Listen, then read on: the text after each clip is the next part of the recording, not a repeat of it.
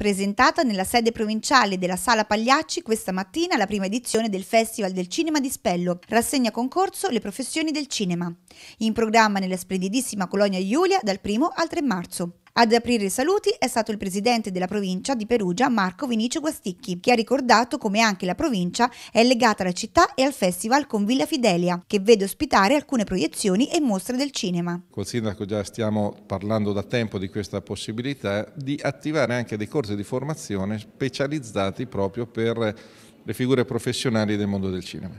Questo vuol dire eh, rimodulare, rimodellare quello che è un'economia che oggi è in seria difficoltà ma che con eh, l'intelligenza anche di amministratori, perché il sindaco, devo applaudirlo pubblicamente, ha avuto un'eccezionale intuizione, si può riuscire a trovare una via nuova, una strada nuova che nell'arco di poco tempo potrebbe dare posti di lavoro e soprattutto potrebbe far conoscere la nostra regione in tutto il mondo. Un evento propositivo per il sindaco di Spello, Sandro Vitali. Questo Festival del Cinema che, viene, che si tiene a Spello, è la prima edizione, mi auguro che possa avere veramente un risultato importante.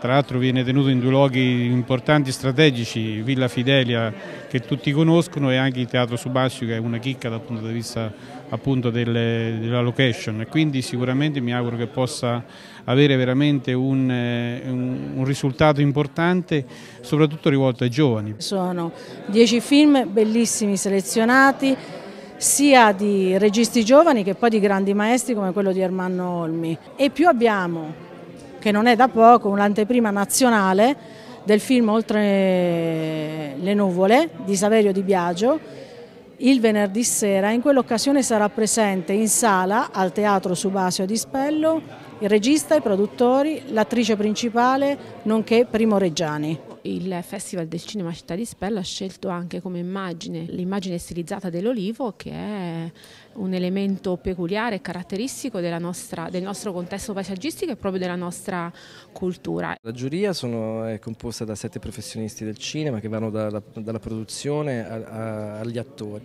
L'appuntamento è dal 1 al 3 marzo a Spello. Per conoscere il calendario degli appuntamenti è possibile visitare il sito festivalcinemaspello.com.